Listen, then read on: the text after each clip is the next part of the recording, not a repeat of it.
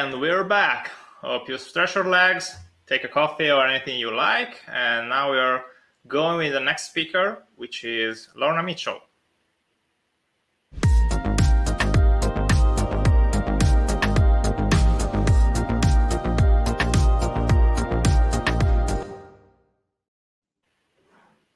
Hi, Lorna. Buongiorno, lovely to be here. Okay, thank you. Thank you for being here. So we are here so to, to hear you talking about time series database, that's right? That's right. It's my current favorite topic. I, I just scratched the, the, the topic myself, so I'm really interested to, to see. You're from Yorkshire, UK, right? So, and you work as a developer advocate for Aiven. That's that's what, right. I, what does Aiven do? Because I don't know them. Okay, so Aiven does open source data platforms as a service. So if you need MySQL, Postgres, Redis, Kafka, or a time series database, or a few other things, uh, you can find it as a service at Aiven, and we're on all the clouds. So you can deploy that to AWS or Google Cloud or DigitalOcean, wherever you're going. Okay, great to know. So you're basically a, a, an old acquaintance of the PHP world. Let's say you've uh, out, uh, if I remember well, joined into uh, at the origin years ago. So thank you for that. We are, it's really helpful for conference and speakers. And you obviously worked a lot in open source, so you know what you're talking about. let's say a lot more than me, at least. Okay, uh, this talk will be pre-recorded, so uh, you'll be available in the chat. Uh, so if you want to interact with Lorna, write in the chat, write uh, a question in the Q&A so we can gather them and uh, respond to them timely at the end of the talk. Okay? Yeah. I'll be in the chat. Please distract me from having to watch myself on video. Great.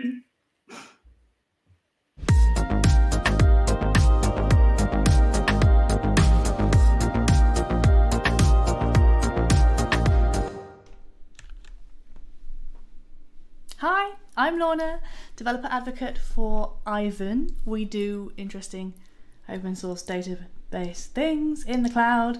Uh, I'm here today to talk about time series data and databases. So I'll start by talking about what time series data even is. And then we'll also talk about the databases that you can use and kind of how that relates to the PHP ecosystem, whether you have an existing application or maybe if you're starting something new. So we'll talk about traditional Postgres stuff and then I'm also going to introduce you to some of the new shiny, including my favorite, M3DB. So let's start with time series data. So time series data is a very specific type of data. Probably you've all seen it. Um, it involves a timestamp, so it's a point in time value of something. The value itself and often it'll come with some other data. So it'll be labeled or tagged um, with the thing it's a measurement of, uh, which measurement it is. Maybe if you have a, a Raspberry Pi um, in the kitchen that measures the temperature and the humidity and another one somewhere else, then they would come in with location uh, tags and also um, which measurement it is. This data is immutable, you never update that temperature measurement of the kitchen at 8 p.m. it just it is what it is, and we write it once and then we never edit it. So that data is we can describe it as immutable. Time series data, you see it in a bunch of different applications, and I think as we move to having more and more data in the world, in our lives, um, it's something that we'll see more of. So it can be uh, sensor data, tracking data, anything with lots and lots of updates. And then it can also be like metrics data. We use it a lot in the sort of monitoring space as well. So time series data, we've got time, we've got data, clues in the name, and then we've got extra metadata attached. So you can kind of imagine a home fish tank measurement where we are collecting that temperature data and just keeping an eye on it over time. Um, the fish are pretty comfortable around this sort of 25 degrees mark. If it gets a lot hotter or a lot colder, that's a problem. And perhaps we could set some alerts on that. So now you're thinking, or certainly I'm thinking, fish tank. Uh, but in reality, the specialist time series stuff is if you have started with a fish tank and now you have an aquarium, that gives you the idea of the size of the challenges that we're looking at here. So think of your favourite aquarium, think of how many things you would like to measure in that building. Yeah, you have time series data. and it's it's quite special in a way. It's it's an unusual database usage to have such this long skinny table, uh, just a few columns usually. Lots and lots and lots and lots of writes, no updates, and potential, potentially quite tricky queries it's atypical behavior for databases. This is not the way that we usually do the database thing, right? So that's why we use some special tools and even some specialist databases to deal with it. And we'll talk more about that later. So you're a PHP developer and you want to work with time series data. What should you do? Well, you could use Postgres. I mean, that's it. That that's the punchline of the talk. We could all save time and go to the pub now. Um, it's yeah. I mean, this is the answer for the majority of the systems that I see. Um, you can go a really, really long way with Postgres, and um, I am going to show you some new shiny today. Like, I'm, I'm not seriously going to bail at the four minute mark on my talk. Um, I'm going to show you some Postgres tricks. Then I'm going to show you some new Shiny, but only if you promise to think hard about how big your data challenge is and what the right tools for that would be. I think if anyone understands the value of somewhat boring technology that absolutely gets the job done, it might be this community. Um, it's something that I appreciate greatly about PHP. Um, is it's uh, it's it's such a great great tech choice and Postgres alongside it. MySQL if you have that as well. Um, I'm more familiar with Postgres and it just has a little bit more, uh, which is why I'm kind of fixed on that today.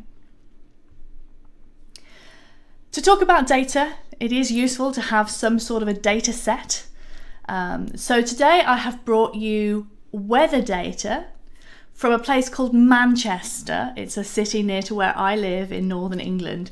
Manchester is famous for two things. Uh, one is football, uh, which we are big fans of here in the UK, and I understand there's football in Italy as well. Um, the other thing Manchester is famous for is rain. so it's an ideal place to use a data set from. I have hourly weather measurements for a 40 year period um, from uh, the readings in Manchester. So every hour, every 24 hours a day, every day of the year for 40 years because the data started somewhere in the mid 70s and you can get it right up to today, but I just did round numbers.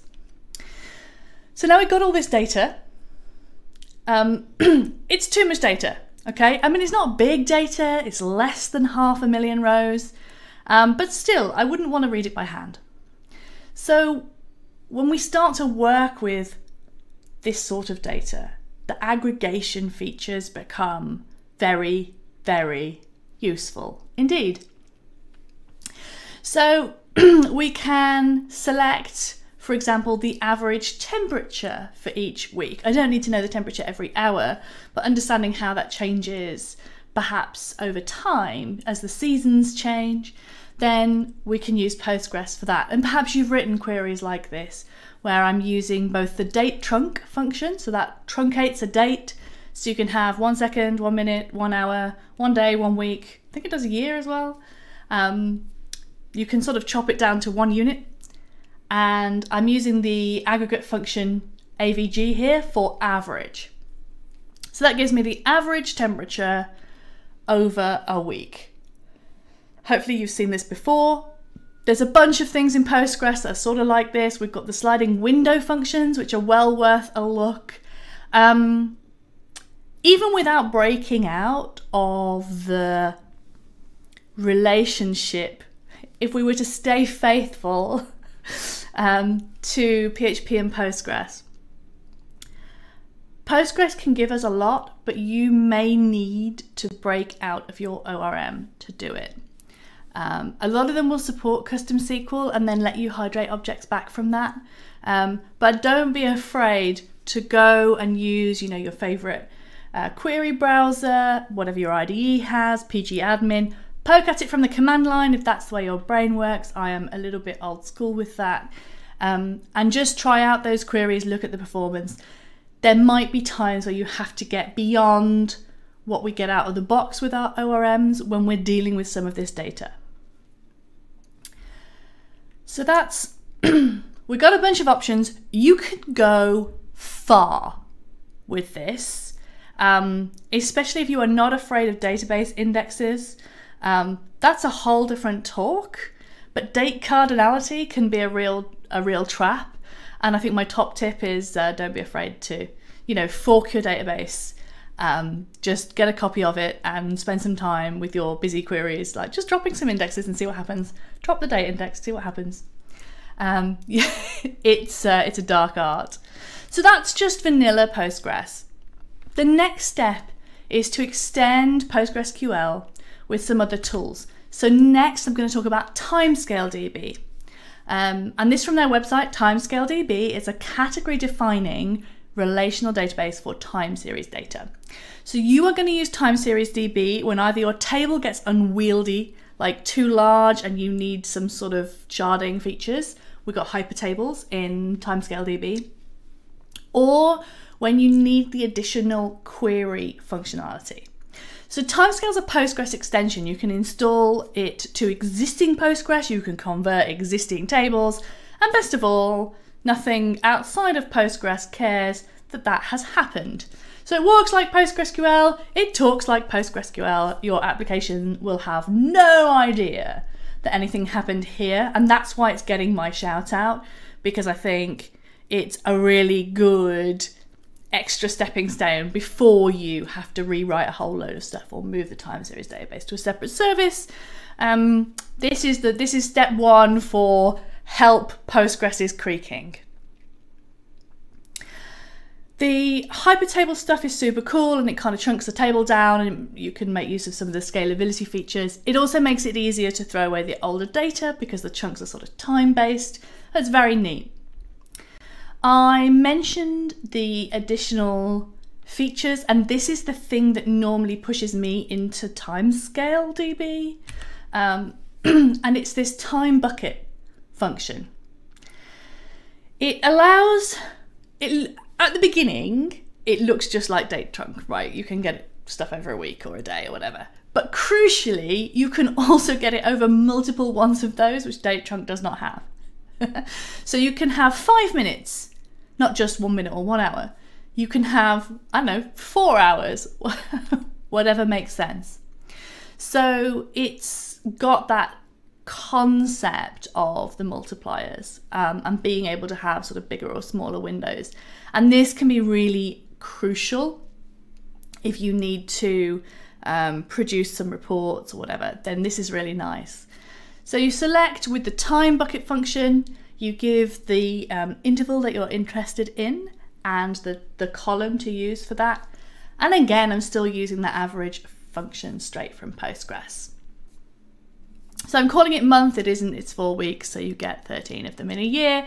But it's a really nice way to kind of look at how that data changes over the seasons. In Manchester, uh, it occasionally gets warmer than you'd think, but mostly in the early 80s. One more thing I want to talk about with uh, time series data is the need for aggregation. And Timescale DB supports downsampling. So that's where we take a set of data points, we look at the calculations we're likely to run on them, and we run them and we persist them. So we store them. Um, Timescale has what we call continuous aggregates. And you can think of them as a materialized view in relational database terms. Um, everything about timescale is sort of familiar. Your tools work, we've got some extra functions, and it's got this extra um, continuous aggregate. So you can say, I'm always going to want every like a five minute and a six hour interval. And I want you to store like the maximum in the last five minutes or the average for the last five minutes. Um, so let's talk a little bit more then about this kind of special aggregation step because it's something that we don't often do um, in our more traditional databases. You know, in PHP, we've often done a lot of like content management databases or product management databases, um, account management. Uh, there's a bunch of things here, but when it's this very distinctive data type, we're going to be downsampling. And it's a key concept in uh, time series data. We've got all this data, we've got every data point from the last 24 hours. Um, and maybe that might be like every uh, 10 seconds or something. And then we might not want to keep that for very long. Also, it's quite big. Uh, maybe we're just going to keep one measure per minute for 24 hours or um, hourly for the last 90 days you get the idea. So we don't. If I'm going to look at 90 days worth of data, I don't need every 10 seconds. Um, and this is this graph is so it's Grafana, which we also have on the Aiven platform, which is why it shows up in my demos. Also, it's brilliant, like best in class.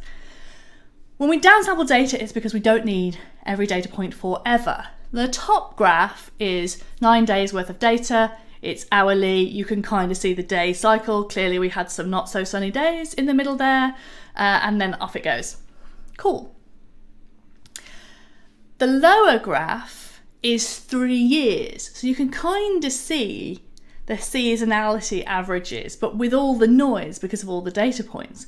Uh, we could get that overall picture from a far lower resolution of data.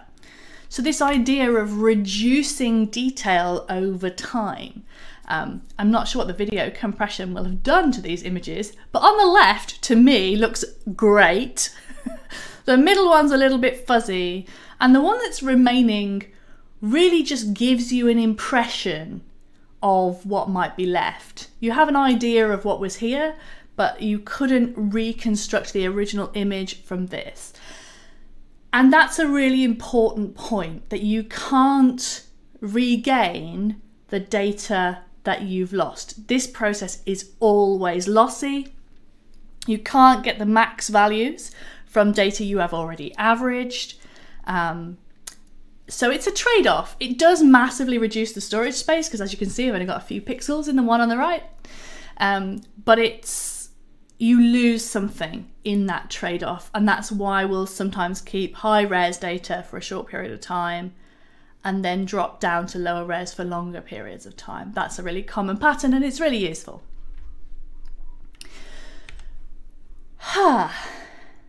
so we've talked about uh, specialist time series. We talked about Postgres, and now I would like to talk about more specialist databases, um, the other options that you have. Um, so I've got I picked a few. There's a bunch. Let's just be clear, this is not exhaustive. These are my favourites, stuff that I've been playing with. Um, Prometheus, you may already have this in your particularly like a monitoring setup. So Prometheus is a tool that hits those health check or metrics endpoints and scrapes data. So it's running somewhere and it interrogates all the other nodes to say, hey, what's going on? How are you feeling? Um, so that's Prometheus, um, and it's it's a it's like a pull thing. You probably may have it in your setup already. It may be familiar to you. We've got InfluxDB, um, which is designed for time series data. It's open source if you're only running a single node. It's kind of open core for the clustered version. Um, M3DB is distributed time series database, open source all the way through. M3DB is an interesting one. Um, it came out of Uber. So if you think about, you know, some of the data points that Uber might be dealing with, um, and I think this was more for their metrics, like server metrics, than necessarily all the geographical data stuff. Um, that's a lot of data and M3 is designed to operate to solve that size of problem. Uh, so that's kind of trying to give you a sense of scale of what this tool kind of is intended for. Um, M3DB is it has a few different components. Not the simplest thing to operate. I, I mean, Aiven has it as a service, which is why I'm messing with it because people I have people for that, or rather, they pay my hosting bills, which is nice. The other thing to say about M3DB is it's designed as a backend for Prometheus. So you Prometheus doesn't have a lot of storage. You normally ship it somewhere. M3DB is designed to come on the back of Prometheus as one of its modes of operation. Your applications can also write their own apps into it, which might be more likely for a PHP application. You tell me. But as probably between you, you have all of the options. Uh, Victoria Metrics is also very similar to M3DB in the sense that it's distributed time series, it's open source. They're both reasonably new, they both have a great community around them. Um, I've tried M3DB because it's on the Aiven platform. That's kind of how that works. So I want to put this up here to give you an idea of what's there um, and, and some insight into which bits of new shiny you might want to pick up and play with when you're coming to um, tackle a problem like this one. The reason that M3, I don't think I'm breaking company confidentiality. the reason that M3DB, despite it being really new and not that widely available um, as, a, as a service, the reason it's as a service on the Aiven platform is because we use it. So all obviously we're, we're running a lot of nodes. we're a database as a service provider. It is a non-trivial problem. Um, and we outgrew the influx that we had. And so we went to this M3DB distributed time series database um, cluster and we loved it. So now, because we're a very technical company and this is how that works, now it's available as a service. We liked it. We think you might like it um, which I think is a really fun way to do to do product development. Like, oh, I've got a cool thing. I love this thing. Let's offer it as a service. Okay, then that's a thing. Okay, so I'm going to use the M3DB stuff as examples today um, because I have been enjoying it. And you know, that's I feel like that's my prerogative. Let's talk a bit about the architecture and how those things fit together. So um, in, let's start in the middle. In the middle, I have the database and the coordinator. So M3 comes with three different types of component. Um, M3DB is one and M3 coordinator is another one and they come in pairs. So you can see here I've got three pairs um, inside the main cluster. So that's like an, a standard um, Aiven M3DB. You can get a single node for testing, but then why are you using a distributed database with a single node. Uh, so this is like our standard sort of business plan with three nodes, uh, and you just talk to the cluster and things happen. So we've got these three pairs, and we've got on the left, still my left, probably your left, we've got your application. Um, and your application can send whatever data it needs to, whether it's sensor readings or metrics or uh, doesn't matter, um, into M3DB. So when you're collecting those time series readings, you can send them here, just as you would send them to Postgres or any other storage. Over on the right hand side, I've got Grafana, uh, which is what generated the graphs that you saw earlier. So the thing about very large amounts of data is that it's kind of difficult to think about when you're just reading the individual points or returning it a, set of rows. Um, you know, it's not it's not a list of categories from a blog database, right? It's as many pieces of data as there are sky stars in the sky. Um, so Grafana is the visualization tool. It's another open source tool. It's also available on the Aiven platform. All the words you expect me to say here. Um, the reason that we visualize these large data sets is because the human visual abilities are incredible for pattern matching or pattern spotting. So you can look at a graph and say, oh, what happened? You know, is this like either a big cliff or the opposite of a cliff? it all just went away, everything turned off. Um, we can see that very easily, and that's why we often, you know, anyone who's doing that sort of um, monitoring type work always has visualizations, not current total, graphs, rolling graphs of what's happening because we're so good at that. So, Grafana is, in my opinion, the best way to inspect time series data. Um, and I speak as a person who is kind of a command line prompt person most of the time. This type of data, that really makes no sense. And I will just plug in Grafana as a debugger rather than poking queries as I might have done for other types of data. So, uh, yes, I think this is quite a nice way to think about it. Let's talk about the aggregator component that's at the bottom of the diagram here. This is an optional component and if you, specifically on the Aiven platform, I'll just, if you get, if you, if you need an aggregator um, component, then that's a separate service and you just spin it up and connect it to your M3DB. Um, and that's because you might not need it.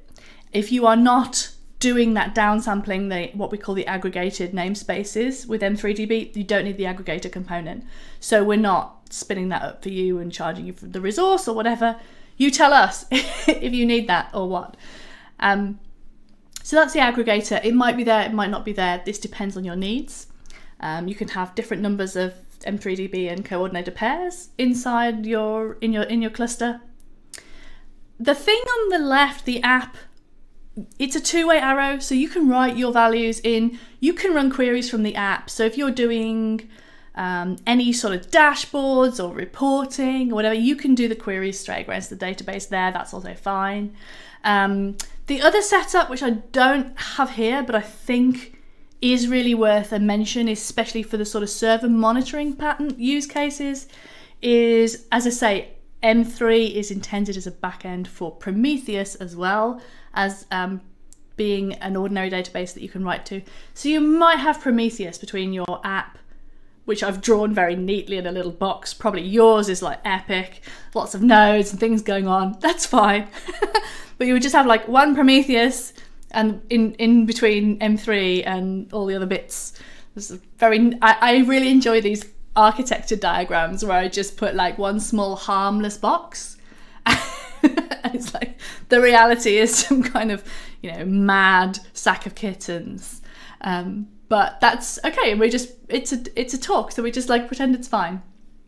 You know what's inside your app box and probably already thinking about how you would monitor that in this setup one thing that I think is um, a fun thing to do is also to set up to try that all these pieces is to just set up like a mini uh, monitoring project. So I usually spin up some sort of one Aiven service to pretend to be the app. Um, it's recently been my weather database because that's what I've been playing with, and then an M3 and then a Grafana um, all together. So that's quite fun. Okay, so talking to M3 from PHP, you use the influx libraries. Of course you do. so M3DB was introduced a lot of companies have moved from Influx to M3DB, Aiven included. And uh, the Influx DB wire protocol is pretty decent. Um, it's well designed for this sort of data. And so M3, you know, it's going to drop into an existing system. We're not going to rebuild everything for it. And so it support one of the modes it supports, in addition to the Prometheus interfaces, is the InfluxDB interfaces. So, top tip for PHP developers, you need the PHP library that supports Influx version 1. There is Influx version 2, it uses a different PHP library. You need this PHP library, which is why the composer require line is here in the slides, and I will try and get this into our documentation or blog post or somewhere if you need it for reference, because um, yes, it's just, it's just one of those little tricks that you should know. You need the V1 library, remember that.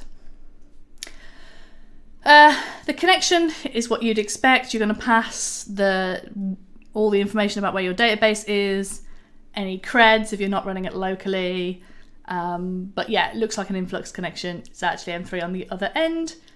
Uh, we're all one big happy open source family.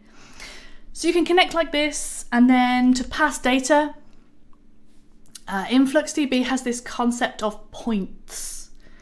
So you create points, um, and you can also, it's got functionality to pass an array of points, but you construct this point and you can kind of see it's got a name, it's got a value, um, it, it by default it'll timestamp for now, but you can set that and then you can set some extra tags and anything else that you need to set with it.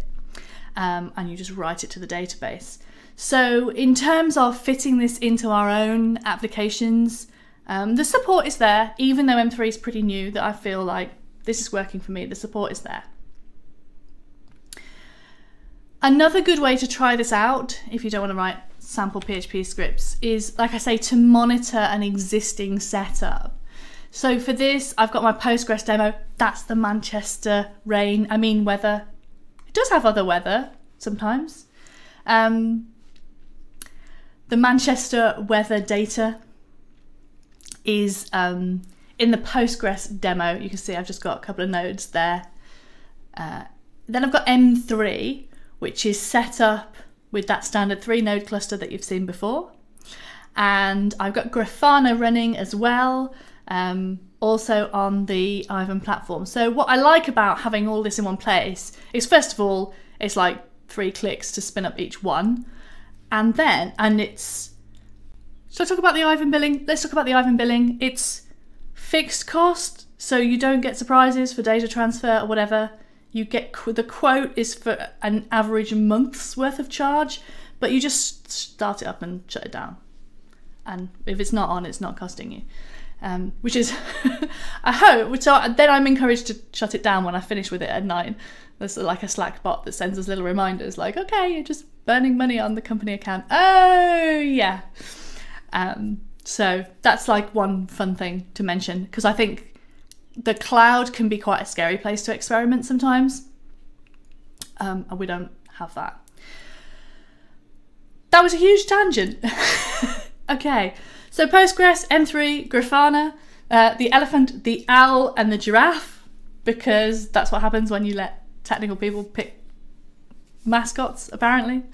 Um, yeah, so having, if you think of the Postgres as being like, this is my running application, I can set up M3 to collect metrics from any running service or multiple running services. So I just say to M3, yeah, you should start monitoring their Postgres, and uh, then please stick stuff on Grafana.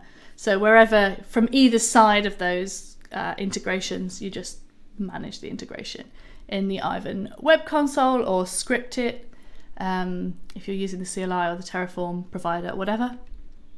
Um, and this is a really fun way to immediately see, collect some metrics, talk to M3, just give it a try. This is my favorite kicking the tires kind of approach. This is where I start. And especially because M3 often is used in that sort of monitoring type setup. Um, and when you glue those two, three things together, you get this, ta-da! Um, just a, a, little graph of the CPU usage. Um, it's quite neat because the data source is automatically added to Grafana and it knows how, how the security creds work. So you can just immediately start picking your data sources and graphing them. It's very nice. When I talked about time series data at the beginning, I mentioned that um, we have the timestamp, the value, and then some other data. And if this is quite a nice example of some other data, that we've got the three lines on the graph and the key at the bottom. So you can see there the green line, and I've got tags for the cloud, the CPU, uh, the host, which project it is, and the various other things that are different about it. It's actually one for each cluster. Um, so that's pretty nice. I quite like that um, for just a very quick on ramp to see it. Namespaces are the downsampling feature of M3DB and they're completely optional. So if you don't need this, no worries. You don't need to like it's not there by default, you just turn it on or not. Every M3 database has to have exactly one, not at least one, not more than one, not less than one, just one unaggregated namespace.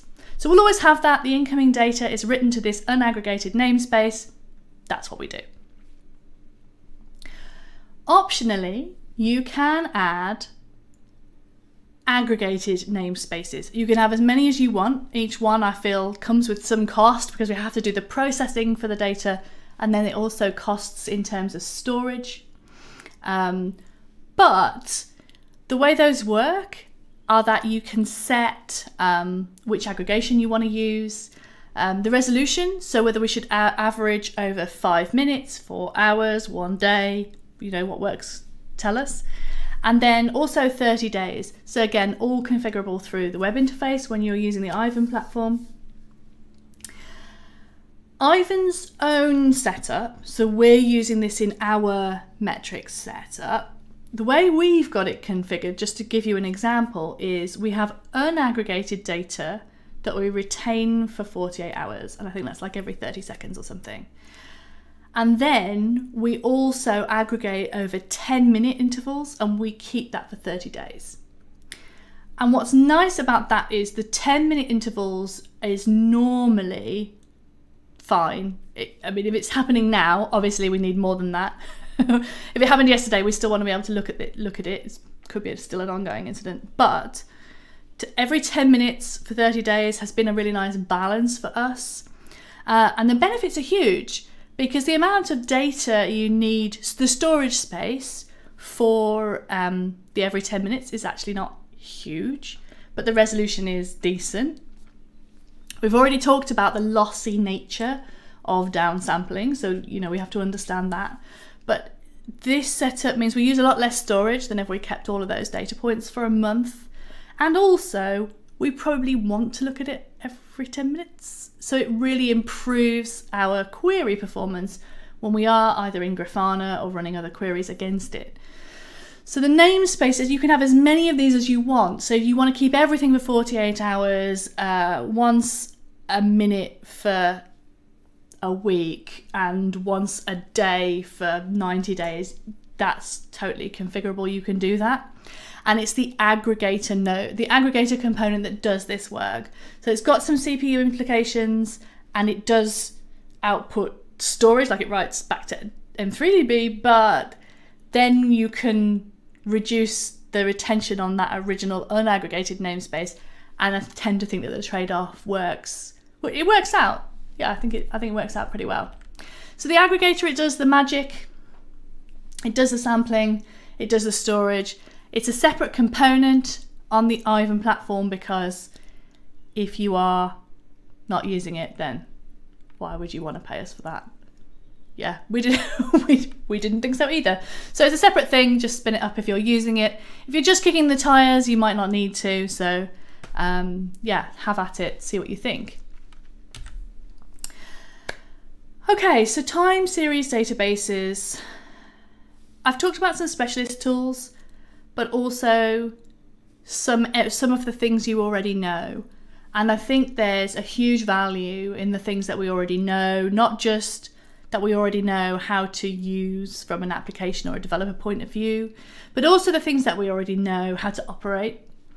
Um, like I say, the majority of what I've seen would have been fine in Postgres.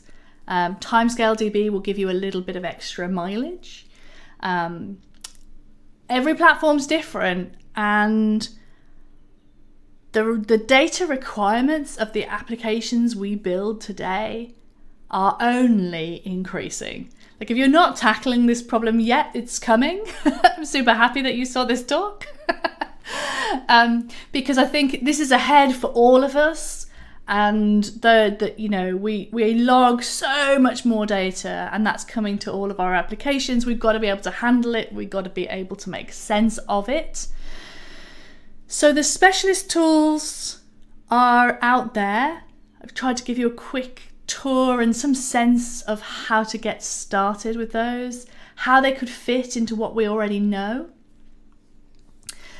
But also some sense of when you need those tools. I think um, we all enjoy the new technology, but sometimes things come out of those very big technical um, technical companies, and in this case, it was Uber. You know, I, I deal a lot with Kafka, which came out of LinkedIn, and not all of us are, are quite dealing with that scale of problem yet. Um, so being understanding the technology and also knowing what your options are and when you can evaluate them or when it would make sense, I think is as, as important as knowing the names of technologies or seeing the code examples and, and, and those kinds of things. I think it's all part of the same thing, being able to design our systems without over engineering them, being aware of the ecosystem without having to keep up, spending hours practicing with every single new innovation. Um, all of this space is pretty approachable. I'm really enjoying it. The graphs are great as well. Um, so I think there's a bunch of things here, and I hope that you found it helpful. I am so interested to hear um, which time series problems you're already solving, which ones you expect to be solving pretty soon. Um, so yeah, we do have some time for questions. Um, you can start typing questions. I will, uh, if you're watching live, I don't know if I'm going to exist forever alongside this this recording. Um, but I'm going to leave you with a list of links of things I think you need to know. Um, first up, obviously, Aiven.io. It's got a free trial. We don't even need your card. Just kick the tires. I'm reasonably new in my role at Aiven. Um, so, yeah, I guess I'm paid to take your complaints. I would love to hear what you think. Um, I have a huge list of things I want to change. So, um, let me know if I'm on the right lines with those.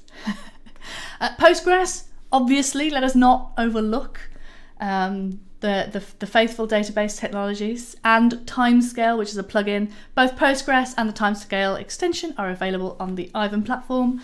Um, in fact, so is Influx. There's a link to InfluxDB and also M3DB. So I think I'm contractually required to say all of those are available on the Aiven platform.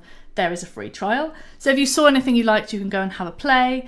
Um, that's my website, lornajane.net. I write about less PHP these days, but still sometimes about technology.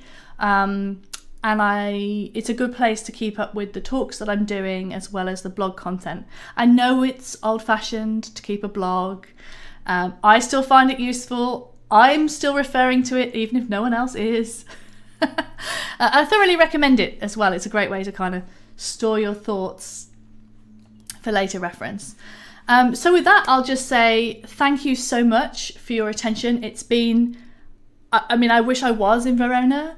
Um, but it's been a pleasure to be here anyway with you, um, and, we, and we can look forward to doing that again sometime in the future. Uh, let me know what you are building and stay in touch.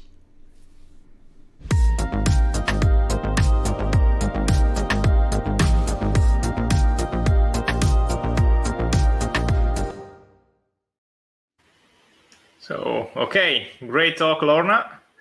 Now we have some time for questions, but in the meantime, I would, would like to start with a question of my own. I wanted to know how you got into uh, databases and time series. I think it's a deviation from, you know, uh, simple coding as you started like us. Yeah, well, simple coding is definitely my background. Uh, to be honest, um, I, I've been a PHP developer for many years, and I really enjoyed working on some of the bigger projects with some of the bigger database stuff back in the day. I think some of you will also have heard me speak about APIs and that kind of thing. So you have to get into data and that kind of data communication design.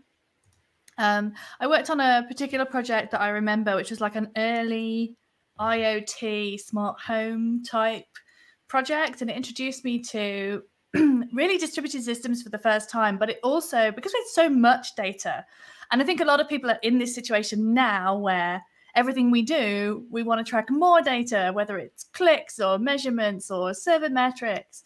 Um, and we, um, yeah, it was just a big challenge. I learned a lot about database indexes in that project because we were just you know, trying to run reports on newest data and all that kind of thing.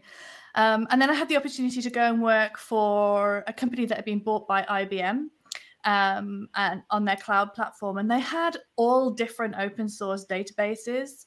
And I really got to know the different specialist databases, so document databases, time series databases, um, as well as the more traditional uh, relational databases and pro- like Redis that you already know, uh, etcd, that kind of thing. I just got really into it. Like that's really my kind of thing.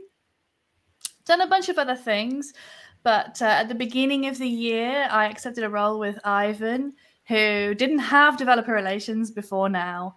Um, they've been quite a uh, like developer centric. If you know what you need, you just go and integrate it there. They weren't really big into the marketing side.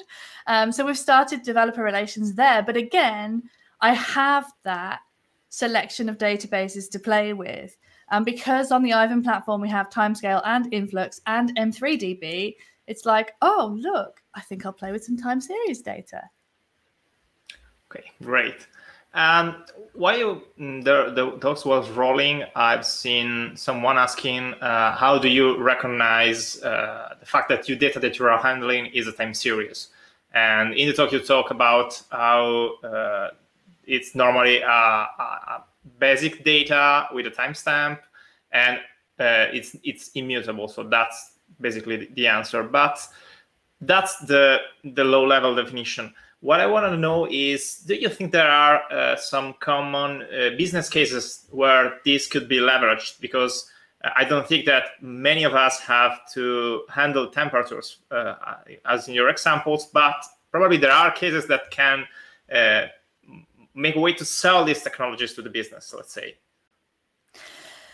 And there are lots and lots of different applications. I mean, common to us all is that you will normally find something like this um, some sort of time series data specialist data platform somewhere in your observability setup. So that's um, for all of us running systems of any sort of scale um, you will find that. And one of the reasons, you know, M3DB, I think probably pre-recorded, Lorna just said this as well. Um, in M3DB has, um, you know, it's not available from many places. It's Uber have open sourced it because they outgrew what they were using. Um, it's available on the Aiven platform, not necessarily because we think it's a great business move, but because we needed M3. We outgrew our single core influx. And so we and we really liked it. and um, a lot of our bigger customers are more like partners. So we were like, okay, well, then we should offer it as a service. So I think that's the, the the observability piece. You know, being part of your monitoring setup is that's the place where we see those dashboards of all the different readings following through and that so that's something that's common to us all and i know that this audience is pretty technical probably does some devops stuff as well I think in terms of pure business requirements, it is the clue is that you have very simple, um, like a primitive data type and a timestamp, and it doesn't change. And you probably need to produce dashboards or reports, or um, yeah, if you see that pattern where it comes in every minute, but you actually need the hourly average um, then those for me are the tells. And I try to open really strongly at the beginning by saying, you know, if it's not big data, you go a long way with Postgres. So don't feel that you need to get into complicated hosting. Um, some of these things are not that easy to operate, which is another reason why I love working for databases as a service company. It's got a free trial, kick the tires if you like it. It's pay as you go. Like, uh, go go for it, and it's all inclusive pricing, so you don't have that bill shock going on. Um, but I think there's a bunch of things there. But when you've outgrown it and it's a struggle, knowing about the specialist databases and kind of what they are and how to choose, I hope will really help people who need to make that next step now. Yeah, that's right. That's right.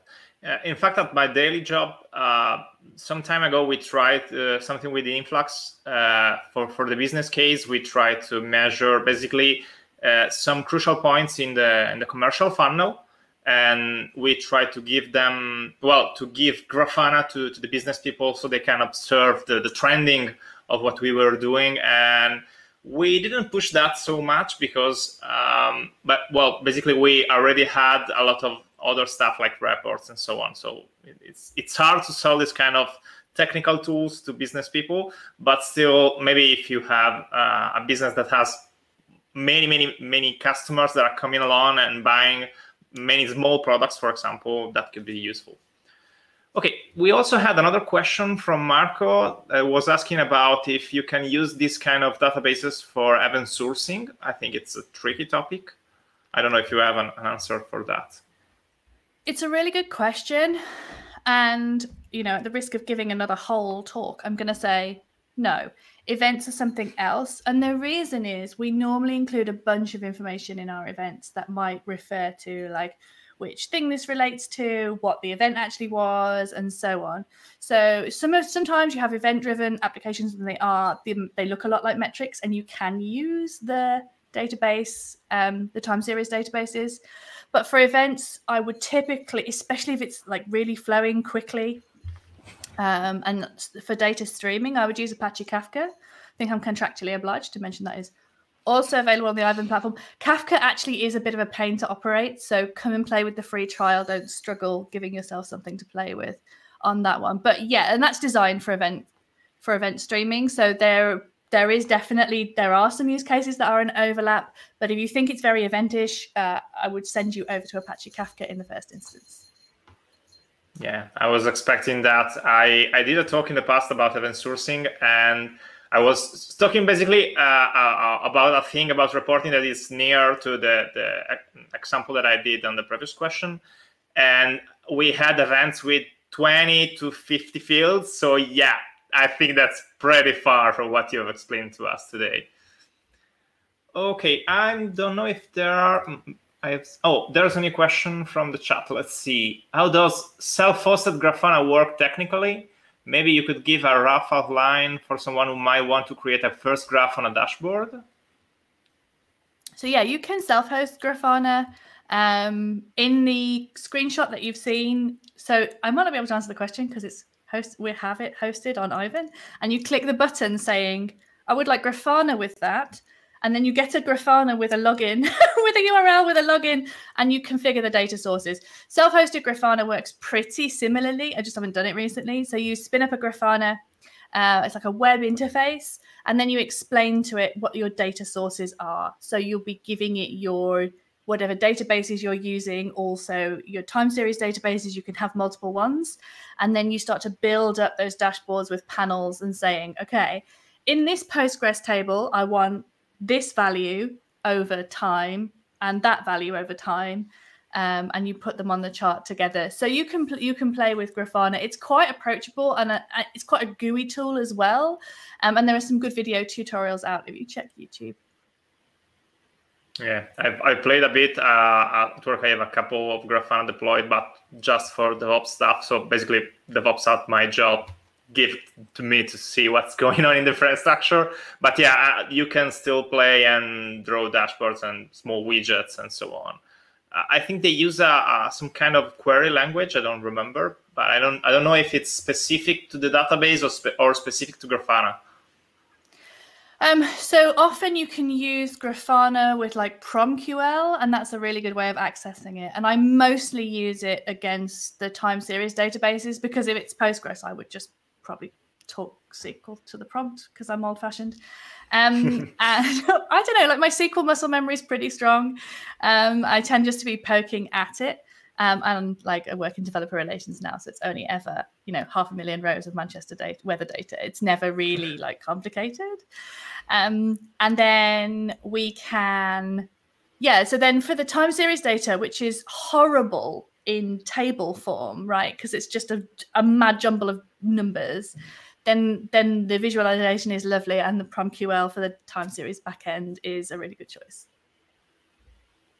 Oh, two other questions popped up. Okay, uh, one is from Eugene, and is what kind of metrics does Uber collect with M3DB? If you can tell us that. I can tell what they tell publicly, um, and you'll find it also on the M3DB website. It's quite a good case study. They've got their architecture diagram there, but it's yeah, it's part of their observability setup. So they kind of outgrew what they had. M3DB. So if you're in the ops space, um, the way that I would explain M3DB to you in contrast to this talk, which is a bit more application oriented, it's a storage backend for Prometheus. So your Prometheus drags in all of your metrics, and then M3DB is the storage for that. And then it's got some components to optimize both the downsampling process and also the query process. Uh, we kind of bundle those in a sensible way as a service for Aiven. Okay, and the other question from Nicola is, uh, uh as an example, I need to track sent notification to user. We talk about 3,000 entries each per hour.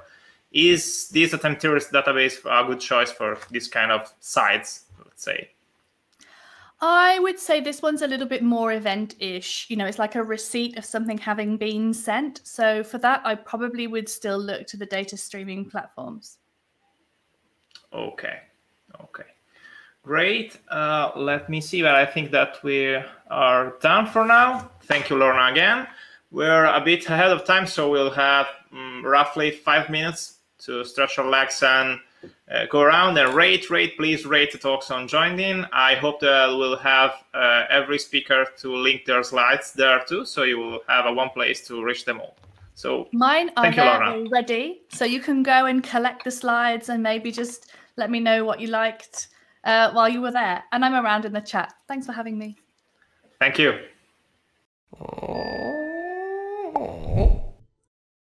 Mm.